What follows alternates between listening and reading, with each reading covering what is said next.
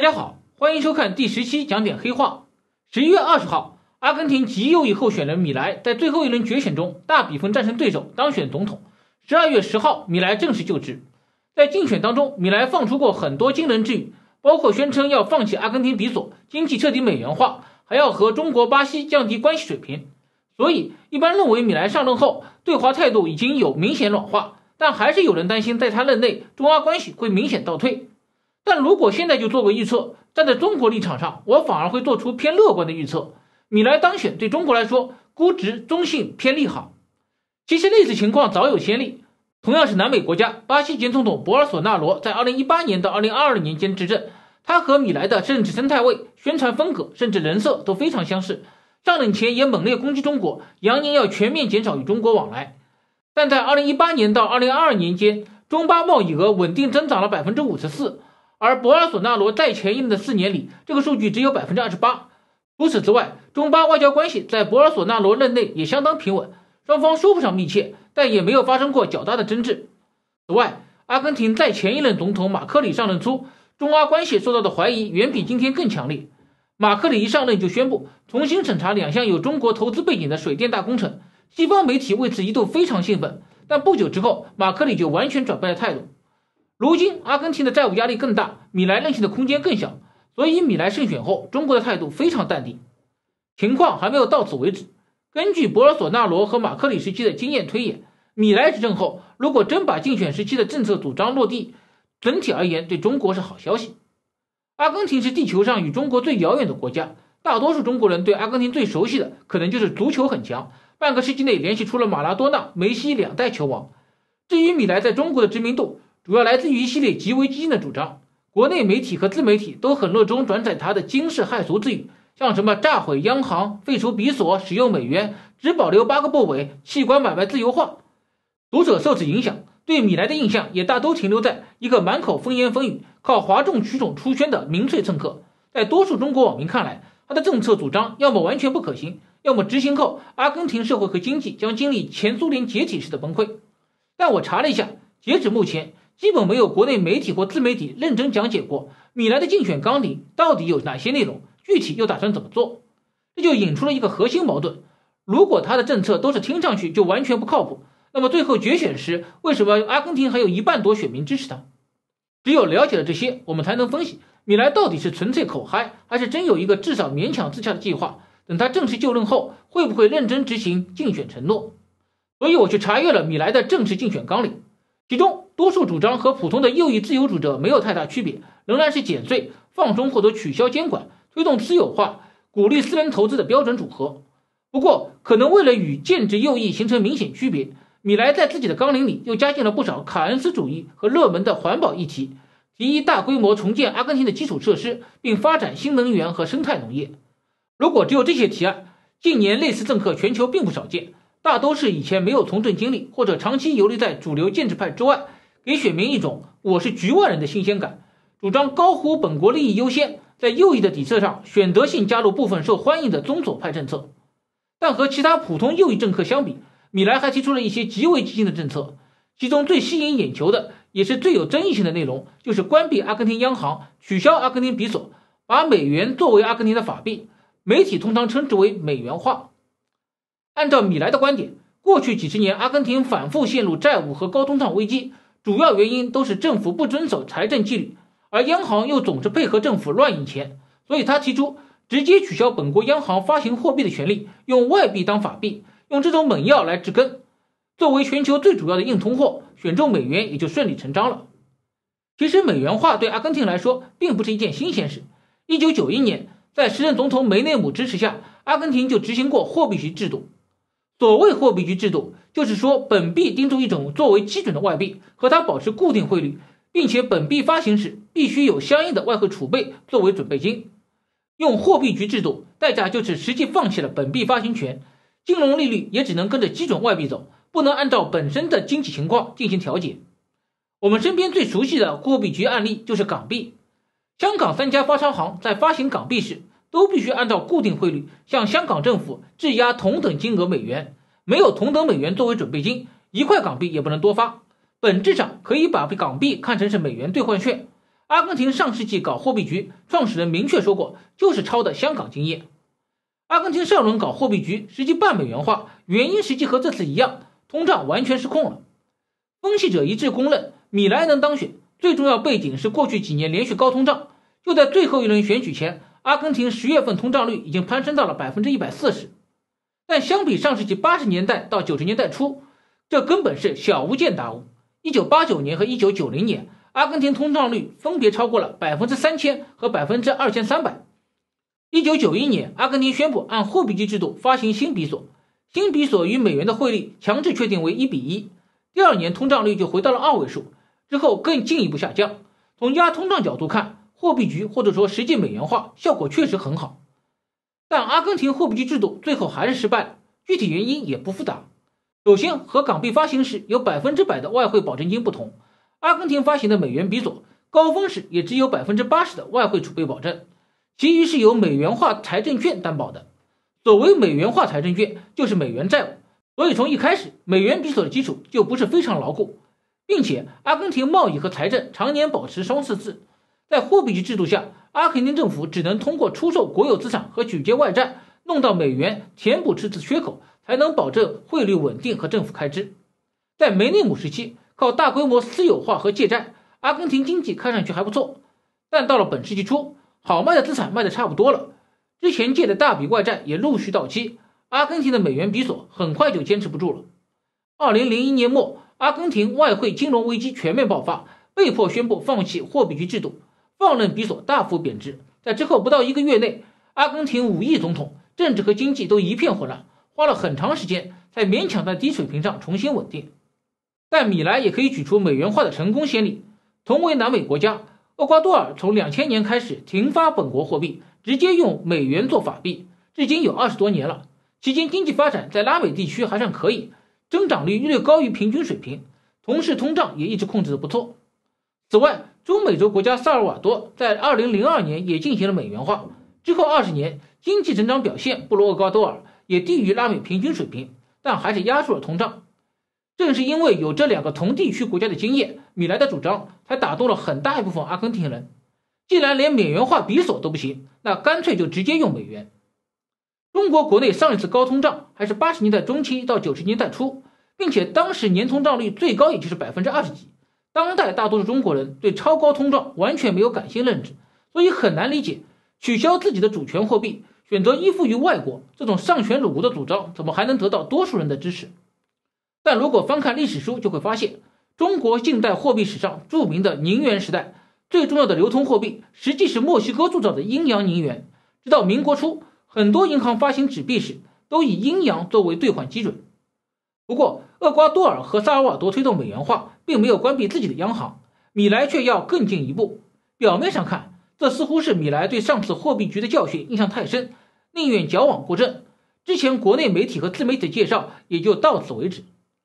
但如果有人仔细去看了米莱的竞选纲领，就会发现他很清楚，美年化并不需要取消央行。米莱的真正目标是彻底改造阿根廷金融系统，完全推翻现存架构，建立一个西蒙斯银行体系。而在这个体系下，央行完全不必要存在，甚至也不应该存在。所谓西蒙斯银行体系，是美国经济学家亨利·卡尔福特·西蒙斯在一九三零年代提出的理论。西蒙斯认为。银行破产的直接原因主要是挤兑，这是金融系统最大的底层风险。所以他提出，银行应该对所有存款都有百分之一百的准备金，在任何时候都可以应对任何挤兑。在这种情况下，也就不需要保留央行作为最后贷款人。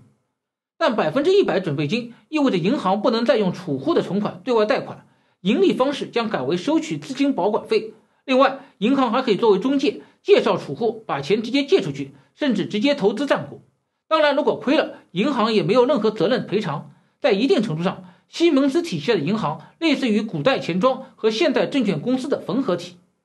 西蒙斯银行理论很冷门，实际上他从来没有真正实验过。米莱能把他从书架上找出来，倒是证明他真是经济学者出身，否则只靠咨询顾问，不太可能翻出这种极为冷僻又与主流金融体系完全相悖的理论，作为自己经济和金融政策的主打纲要。同时，推崇西蒙斯银行理论，也表明米莱的政治底色却是非常右。西蒙斯银行体系的核心是把金融风险和成本转嫁给储户，逼迫普通人要么接受负利率储蓄，要么直接进入风险极高的债券和非公开交易股权市场。这种政策已经很接近社会达尔文主义。加上在劳工、教育、卫生和社会保障政策上，米莱也是全面拥抱新自由主义的激进派，态度比隔壁的前辈兼盟友博尔索纳罗还要强硬。在他执政时期，阿根廷的经济和社会政策肯定会全面右转。不过，也要看到，米莱虽然当了总统，但他能把自己的理念推行到哪一步，实际还很难说。他的多数主张要落地，都需要通过新的法律。但米莱的自由前进党在阿根廷参众两院内都只是第三大党。只有得到传统右翼的支持，才能推动立法进程。但右翼建制派不一定愿意陪他一起飙车。还是拿关闭央行和法币美元化来说，虽然米莱在上任后表示仍然坚持关闭央行的政策，但反对派和司法系统都已经警告他，央行是根据宪法和法律设置的，不是他一个人想关就可以关的。此外，阿根廷经济面对的现实情况也不会允许米莱为所欲为。反对派一直批评米莱主张美元化时。只说优点，却不考虑现实可行性。阿根廷现在最大的问题是政府债台高筑，外汇储备实际已经是负数。除非主动制造一场大贬值，否则根本没有足够美元去兑换市场上正在流通的比索。厄瓜多尔两千年能成功实现美元化，代价就是原来的法币在短时间内贬值了七倍，让政府只花了大约六亿美元就回收了大部分苏雷尔。主要使用本国法币的中下层民众在其中承担了极大损失。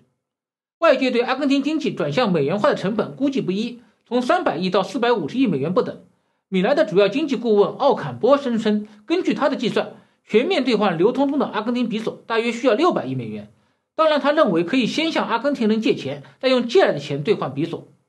米莱上任后立即将阿根廷比索大幅贬值，官方汇率从三百六十七比索兑换一美元降到了八百比一，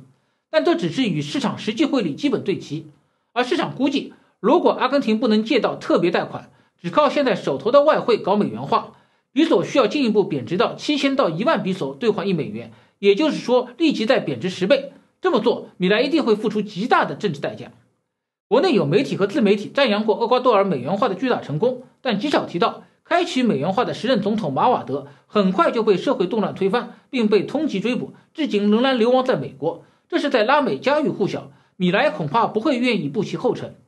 不过，米莱也给自己打过一个补丁，在竞选纲领中，他宣布，阿根廷经济问题是战后七十年积累而成，所以他改善经济的计划也需要三十五年时间才能完成。整个计划分为三阶段，而美元化和关闭央行分别在第二和第三阶段，但每个阶段都没有具体时间表，何时操作完全可以由他自己确定。反正不推进的理由也是现成的：反对党不合作，同盟派不给力，执政党在国会和地方力量有限，通不过必要的法案。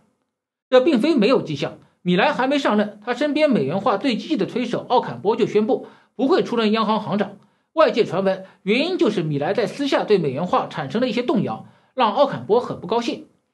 当然，米莱凭总统掌握的行政权，单独就能做的事情也不少，比如调整官方汇率，对本币进行大贬值；又比如说，他一上任就按竞选时的许诺砍掉了一半的内阁部委。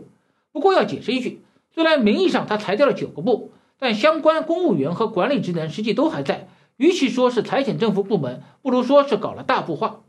短期内，米莱对阿根廷经济影响最大的手段，应该是削减公共支出和减税。在竞选中，米莱声称自己要削减相当于阿根廷 GDP 百分之十五的支出，但专家统计，把他提出的所有项目全部砍光，能减掉的支出大概占 GDP 百分之五不到。不过，这个比例实际已经很大了。削减公共支出后，米莱就能做他最新心念的事。减税和放松管制。作为激进的新自由主义经济学者，他宣称百分之九十的税收都没有意义。当然，米莱不太可能真减免那么多税。但好消息是，根据他的竞选承诺，最优先的减税项目里包括取消出口关税和预扣税。这个税项和中国的关系不小。当今世界上还保留着出口关税的经济体已经不多了，阿根廷恰好是其中之一。阿根廷主要对农产品征出口税，因为这是他们国际竞争力最强的产业。目前，他对大豆、豆油、豆粕的出口关税高达百分之三十以上。作为全球第四大大豆生产国，并且还有巨大增产潜力，如果阿根廷取消出口税，对全球豆价会造成很大的降价压力。而中国正好是大豆的第一大进口国，去年买了超过一亿吨，占全球进口总量超过百分之六十。同样情况还发生在其他农产品上，比如阿根廷著名特产牛肉。阿根廷近年倒是不对牛肉征出口税了，但又通过出口配额进行限制，有时甚至直接禁止出口。限制牛肉出口是因为阿根廷人传统上非常爱吃牛肉，最高峰时人均年消费量近六十公斤，位居全球第一。近年因为经济衰退，人均牛肉消费已经降到了近一百年来的最低点，仍然有近五十公斤。牛肉在阿根廷社会生活中的意义和猪肉在中国差不多，是最有指标性的商品。相比之下，中国人均 GDP 已经高于阿根廷，但人均牛肉消费还只有七公斤左右。在相当一段时间内，光是国内产能还很难满足需求。从2019年起，中国成为全球最大的牛肉进口国，之后一路狂飙，在全球市场地位已经接近于大豆的情况。作为全球有数的养牛大国，阿根廷是一个重要的牛肉供应国，去年出口量大约六十三万吨，其中百分之七十八卖给了中国。并且以阿根廷的农业条件，它还有巨大的增产潜能。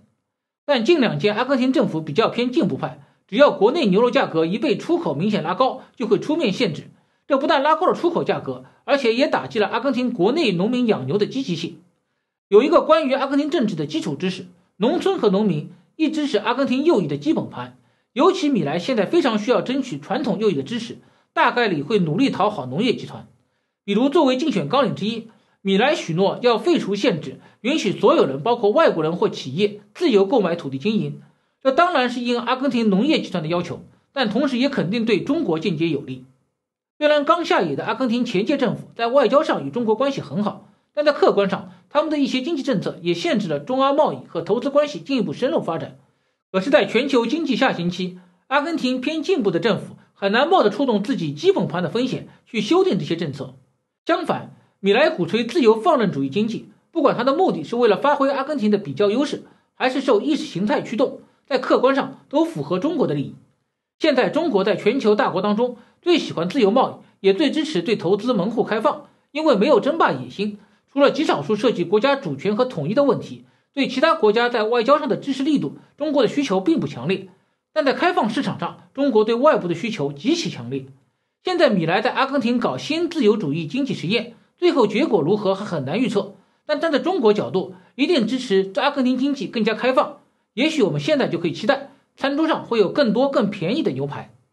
我是不讲废话的黑岛人，感谢大家收看讲点黑话，下期再见。